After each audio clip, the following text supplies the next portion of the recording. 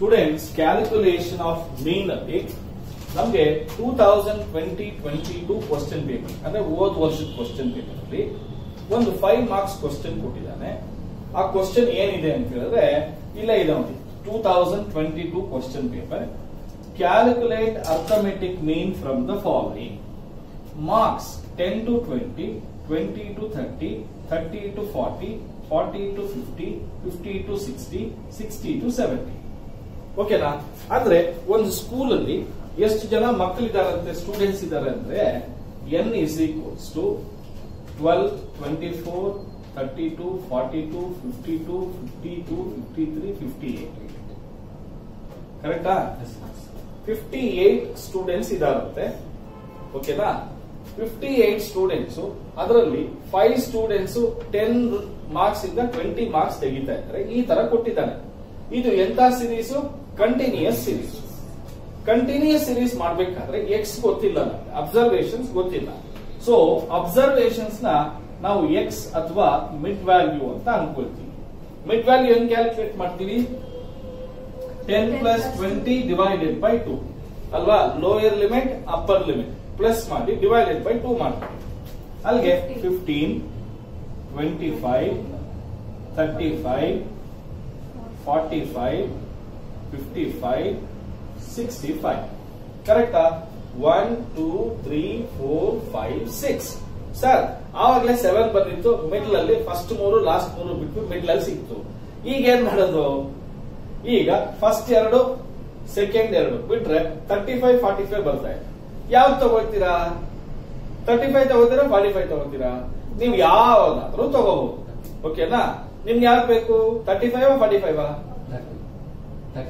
thirty five okay ನಾನು thirty ಫೈವ್ನ assume ಮಾಡ್ಕೊಳ್ತಾ ಇದ್ದೀನಿ ಮೀನ್ ಅಂತ ಹೇಳಿ. ಹಾಗಾದ್ರೆ ಎಕ್ಸ್ ಮೈನಸ್ ಎ ಎ ಎಷ್ಟು ಬರ್ತಾ ಇದೆ? ತರ್ಟಿ ಫೈವ್ ಬರ್ತಾ ಇದೆ. ಓಕೆನಾ ಅಂತ ಅನ್ಕೊಂತಾ ಇದ್ದೀನಿ. ಅಸ್ಯೂಮ್ ಮಾಡ್ತಾ ಇದ್ದೀನಿ. ಹಾಗಾದ್ರೆ ಫಿಫ್ಟೀನ್ ಮೈನಸ್ ತರ್ಟಿ ಫೈವ್ ಅಂದ್ರೆ minus twenty minus ten zero plus ten plus twenty plus thirty ಕರೆಕ್ಟಾ ಕರೆಕ್ಟಾ ಇಲ್ಲ? ಯಾಕೆಂದ್ರೆ ಹದಿನೈದು ಮೈನಸ್ ಮೂವತ್ತೈದು ಮೈನಸ್ ಇಪ್ಪತ್ತು. ಇಪ್ಪತ್ತೈದು ಮೈನಸ್ ಮೂವತ್ತೈದು ಮೈನಸ್ ಹತ್ತು. ಮೂವತ್ತೈದು ಮೈನಸ್ ಮೂವತ್ತೈದು ಸೊನ್ನೆ. ನಲವತ್ತೈದು ಮೈನಸ್ ಮೂವತ್ತೈದು ಪ್ಲಸ್ ಹತ್ತು. ಐವತ್ತೈದು ಮೈನಸ್ ಮೂವತ್ತೈದು, ಇಪ್ಪತ್ತು. ಅರವತ್ತೈದು ಮೈನಸ್ ಮೂವತ್ತೈದು, ಮೂವತ್ತು. ಕರೆಕ್ಟಾ ಈಗ ನಾವೇನ್ ಮಾಡೋಣ? ಡಿವಿಯೇಷನ್ ತಗೋಣ ಯಾಕೆ ಸರ್ ಡಿವಿಯೇಷನ್ ತಗೊಳ್ತೀರಾ? ಒಂದೇ ಸಾರಿ ಎಫ್ ಇಂಟು ಡಿ ಮಾಡ್ಬೋದಲ್ವಾ? ಅಂದ್ರೆ ಎಫ್ ಇಂಟು ಡಿ ಮಾಡಿದ್ರೆ ಐದು ಇಂಟು ಇಪ್ಪತ್ತು. ಅಂದ್ರೆ ನೂರು. ಅವಾಗ ದೊಡ್ಡ ನಂಬರ್ ಬರುತ್ತೆ. ಹೌದಾ? ಸಿಂಪ್ಲಿಫೈ ಮಾಡ್ಕೊಳಕ್ಕೆ ಡಿ ಡ್ಯಾಶ್ ಅಂದ್ರೆ ಏನು? ಡಿ ಡಿವೈಡೆಡ್ ಬೈ ಈ ನಂಬರ್ಸ್ ಅಲ್ಲಿ ಯಾವ್ದಪ್ಪ ಕಡಿಮೆ ಇರೋದು ಅಂದ್ರೆ ಟೆನ್ ಕರೆಕ್ಟಾ ಅಲ್ಲಿಗೆ ಇಪ್ಪತ್ತು ಡಿವೈಡೆಡ್ ಬೈ ಎರಡು, ಹತ್ತು ಅಂದ್ರೆ ಮೈನಸ್ ಎರಡು ಮೈನಸ್ ಒಂದು ಪ್ಲಸ್ ಒಂದು ಪ್ಲಸ್ ಎರಡು ಪ್ಲಸ್ ಮೂರು.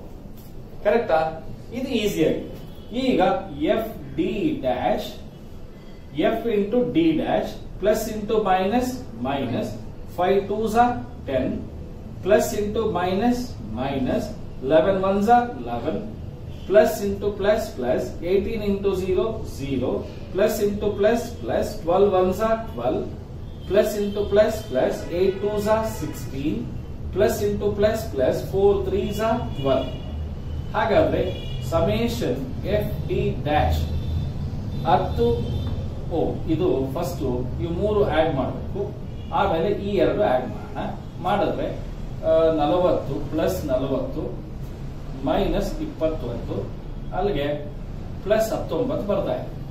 ಕರೆಕ್ಟಾ ಕರೆಕ್ಟಾ ಈಗ ನೋಡಿ ಎ ಎಷ್ಟಂತ ಅನ್ಕೊಂಡಿದ್ಯಪ್ಪ thirty five F D dash ಎಷ್ಟಪ್ಪ ಬಂದಿದೆ?